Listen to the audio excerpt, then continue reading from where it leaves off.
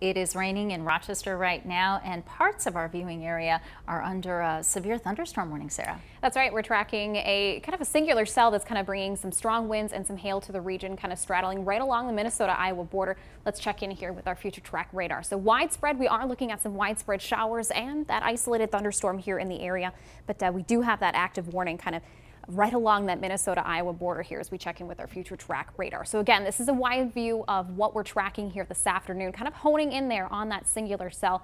We do have this active severe thunderstorm warning for Fillmore and Howard County. Now this warning does go until 1245 this afternoon.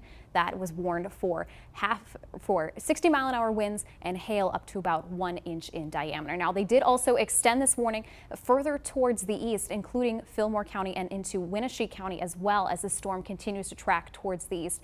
Now this warning will go until 1:15 this afternoon. And again, the storm is warned for 60 mile an hour winds and one inch hail. So we're going to continue to track this storm here as the evening continues and also seeing kind of a bit of a notable uh, hail core here with that cell. So again, hail is a concern, wind is a big concern, heavy rainfall and frequent lightning uh, with this storm. But as we continue here throughout this afternoon, we are going to continue to track the potential for additional showers and thunderstorms, even strong to severe thunderstorms in our area here across the region. So we do have a slight risk for our southernmost counties, exactly where that active warning is right now. From now until 6 o'clock tonight, we do have that potential. Main threats are going to be damaging winds, some potentially large hail, heavy rainfall, and frequent lightning. So this is a very active weather day today. So of course, stay very weather aware here as you go about your day. But right now, we are just tracking just some rain right now in Rochester as we take a live look from our Lewis Donato camera.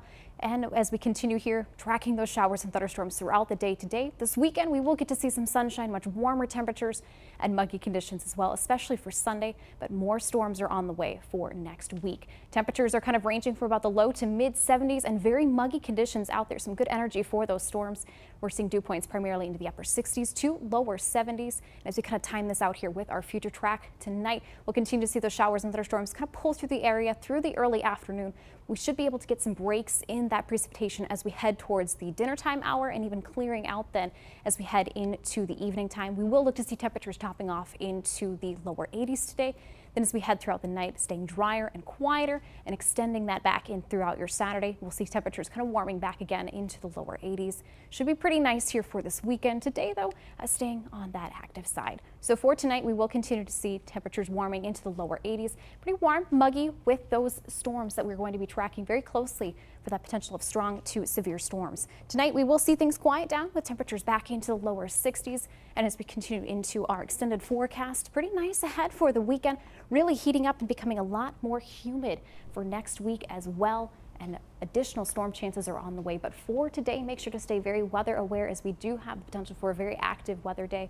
We are going to continue to track those severe thunderstorm warnings in the area for this afternoon, and we'll continue to bring you the latest updates as they become available.